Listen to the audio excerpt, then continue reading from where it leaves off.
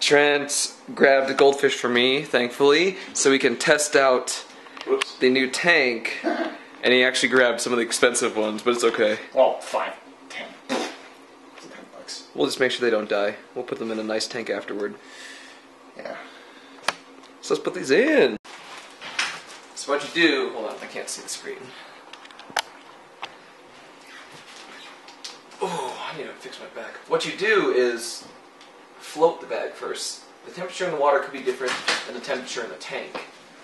So you let it float a little bit of time so the temperatures kind of equal out. Plus, I learned this from the Disney Channel like a million years ago, but it's still obviously true. Fish, they said fish get seasick when kept on a boat, and the, the same concept applies to putting them in a bag and walking them around, and they were probably all freaked out. That's why a lot of times pet places will pour a little stress coat in so they can de-stress them. It's also for the water conditions, but they're all discombobulated in there, and this kind of keeps them in one spot, not moving around as much. So we're gonna let them float a little bit. The water's looking good. The water looks really clear today. So if they do well, then I'll get my first African cichlid set, and then I want to get more rocks so I can get more hideouts. So what I'll do is because if you put more fish in, if you put more fish in here after ones have been established and gotten their territories, there can be more aggression. So what we do is change the scenery around a little bit. Um, so it's almost like a different kind of area. Make sure you keep the light off during that so they don't see it, all the movements. But then this will help introduce the second round of fish because I plan to get some nicer ones.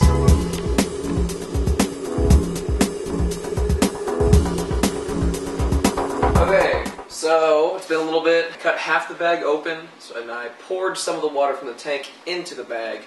You never want to get the water from the bag into the tank. Uh, these fish come in in a lot of different conditions, and there could be diseases, bacteria, and it, there could be something bad that came from the fish store, and you don't want to bring that here. Uh, so I have a couple nets.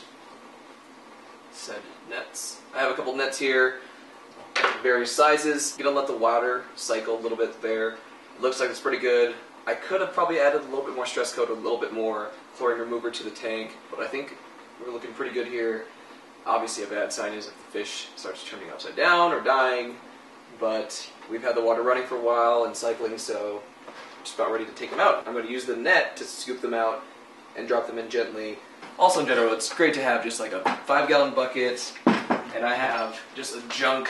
I have a junk towel too, just just in case the tank gets dirty and in case you need to put your hands in and get them clean again, so you don't get on your wood floor or carpet or whatever. Just good things to have.